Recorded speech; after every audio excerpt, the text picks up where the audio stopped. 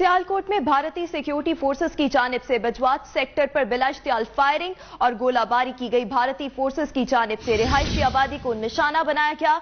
भारतीय फायरिंग से एक खातून शहीद हो गई। पाक फौज ने दुश्मन को भरपूर जवाब दिया है। सियालकोट में भारतीय सिक्योरिटी फोर्सेस की जानब से बजवात सेक्टर पर बिलाश्तियाल फायरिंग की गई, गोलाबारी की गई और भारतीय फोर्सेस की जानब से रिहायशी आबादी को निशाना बनाया गया, जबकि इस फायरिंग के नतीजे में एक खातून शहीद हुई है।